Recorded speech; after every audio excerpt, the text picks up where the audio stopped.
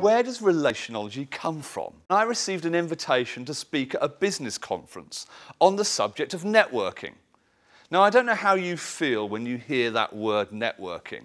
When I hear that word networking, something within me squirms and cringes, and I have real trouble not showing it on my face.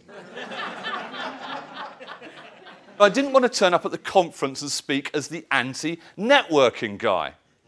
So, in my preparations, I remember thinking actually, for us all, relationships are a science because me and you alike can all learn to do our relationships better. The gentleman next to me in the toilet broke all British protocol and he began a conversation with me. he started by explaining that last night was a very big night out for him. Then he went on to explain to me that the programme didn't look very exciting, the speakers he'd never heard of, and didn't sound very good. 30 minutes later, the keynote speaker was introduced.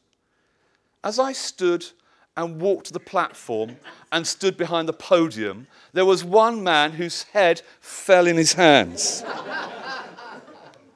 At the end of the session, he was the first in the queue, and his words were these. I'm so sorry, I had no idea who you were. How we treat those people who we think can do nothing for us is the greatest test of our authenticity.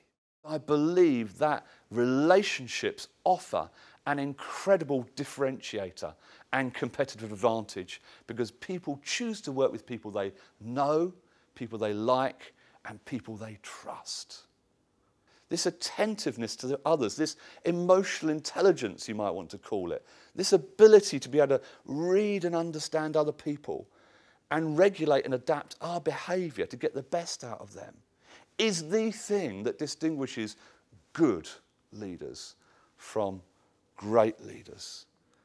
Thank you.